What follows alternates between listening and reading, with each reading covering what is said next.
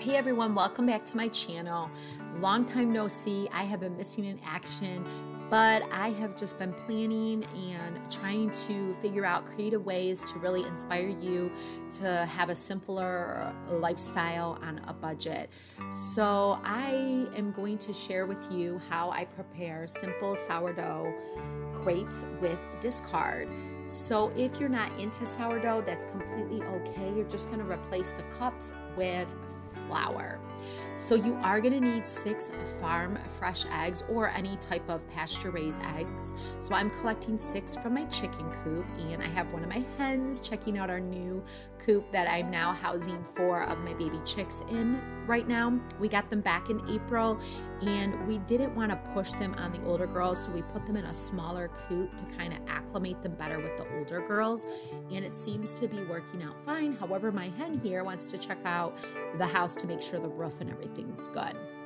So in a large bowl, you're gonna go ahead and put two cups of sourdough discard that has been fed within the last 12 hours. And all discard is, is just extra sourdough that you aren't using to leaven bread or anything like that. And I have an abundance of amount. So this crepe recipe, I figure, you know what? I want to make some savory and sweet crepes that was inspired by a trip that I took last summer with my daughter. They had this really cute crepe little restaurant and they had savory and sweet crepes, which is perfect for my family because we're some of us are savory and some of us are sweet.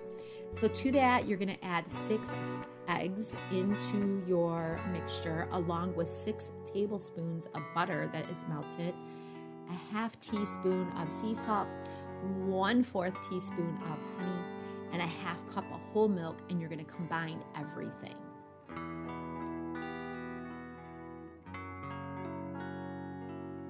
I'm preparing this crepe recipe the day before.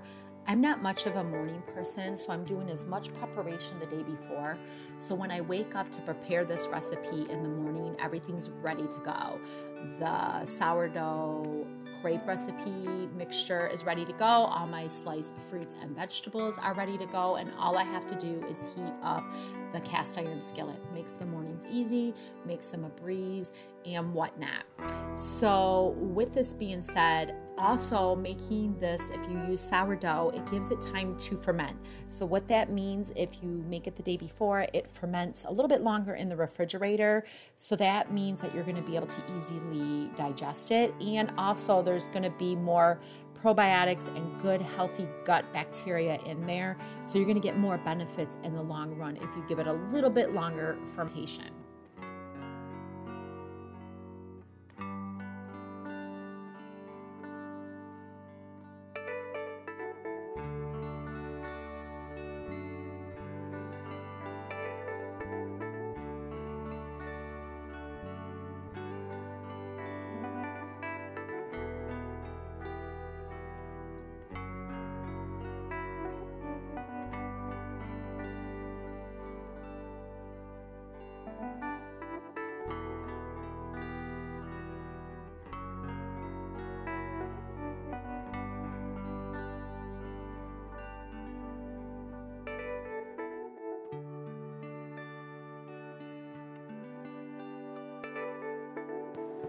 So once everything was prepped and ready to go for tomorrow morning's delicious savory and sweet crepes, I'm actually feeding my sourdough so it is ready to go if I want to bake a loaf of bread, which I am planning on doing. I try to, it is one of my goals this year is to bake all of our bakery items in our house and try to buy very little from the store or bakeries. So that is what I'm doing here. And I'm feeding it about a fourth cup of water, filtered water, and flour, mixing it and setting it off to the side. So now we are here basically the next day. And I am heating two cast iron skillets. I like to do that because I can start two crepes at the same time. And the mixture is in this glass jar and I am spraying the bottom of the cast iron with a little bit of olive oil. And you are going to need a spatula for this, and you are going to need, I guess these are both called spatulas or flippers, I'm not sure, but the spatula so you can take the ends away from the side of the pan and then the flipper to flip it so you can get the other end. So that is what I'm doing here. And this made about uh, close to a dozen crepes. So just depending on the size of your skillets, that is going to determine how many crepes you get out of this particular mixture. And the full recipe is over on my blog, so make sure you check that out and I'll link it below. But you don't want these thick like a pancake. You want them thin, like a thin tortilla shell. And I'm as you can see, I'm rolling it so I can get all of my edges and so it can have that thin consistency. And then once it starts bubbling and it starts pulling away from the cast iron, that's when you take that spatula, you kind of go, you make a circle around it, and then you flip it.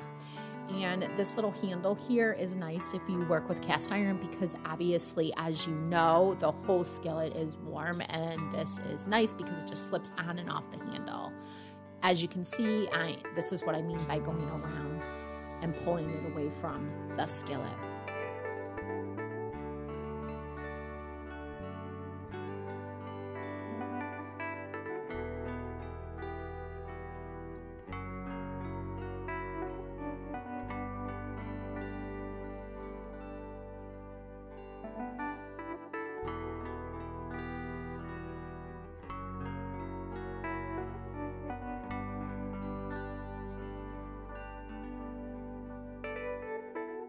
So these are delicious and yummy. And like I said, I have a variety of crepes you can make over on the blog, but my daughter had strawberry. My son did uh, ham and cheese and spinach crepe. Mine is mushroom, onion, and cheese crepe. So my son and I are big savory. My daughter's very sweet, and you can do triple berry. The possibilities are endless. They are delicious and they make a great meal anytime, but we love them in the breakfast on a slow morning. So I hope you enjoyed this video. I really appreciate you stopping by and watching the video until the end. That really means a lot to me, spending time with me, and it inspires me. And hopefully, I can inspire you to create a simpler lifestyle on a budget. Of course, you know, I'm always looking for ways to save money and I'm looking for ways to create a healthier, simpler lifestyle for obviously myself and family, but also for you. So thanks so much for stopping by the farmhouse.